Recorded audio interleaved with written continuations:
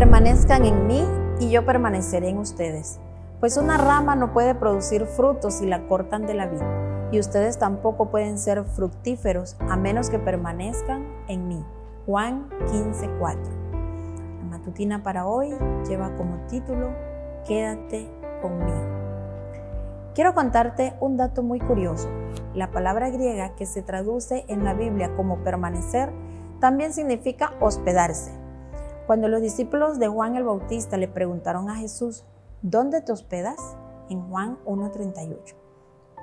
La Biblia lo describe usando la misma palabra, menos. O sea, que cuando Jesús nos dice que permanezcamos en Él, nos está invitando a mudarnos con Él, a compartir la rutina, el dentrífrico y las obras de la cena de ayer con Él. Básicamente, permanezcan en mí significa quédense conmigo. ¿Y cómo hacemos esto? Posiblemente ya lo estás haciendo y solo necesitas incrementar la potencia de tu conexión. Hace unas semanas mi hermana cambió de proveedor de internet.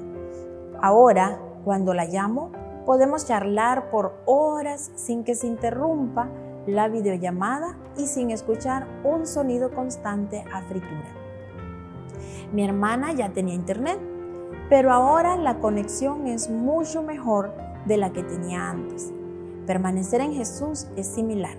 Nosotras ya hemos sido purificadas por sus palabras. Ya existe una conexión establecida. Sin embargo, podemos pedirle al Espíritu Santo que fortalezca la conexión y la vuelva más íntima y permanente. Podemos pedirle que nos muestre cuándo comenzamos a alejarnos o cuando nos olvidamos de convivir con Él. Algo que me ayuda a mantener la conexión es comentarle a Jesús lo que estoy haciendo a lo largo del día. Más que orar propiamente, lo que hago es relatarle lo que voy pensando y haciendo, como si hubiera activado la descripción de video para ciegos.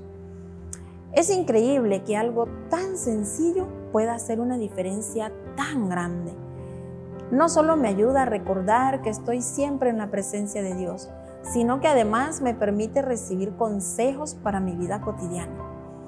La nevera sigue perdiendo agua, le comenté hoy al Señor. Hacía semanas que tenía ese problema y estaba convencida de que se estaba descongelando. Entonces, un pensamiento me vino a la mente, el drenaje está tapado.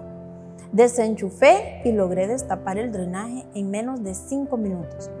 A mí nunca se me hubiera ocurrido revisar eso, pero cuando Jesús dijo, permanezcan en mí, básicamente nos invitó a mudarnos con Él, a compartir dentrífico, las obras de la cena y aún los problemas de la nevera. Padre, quiero quedarme con Jesús.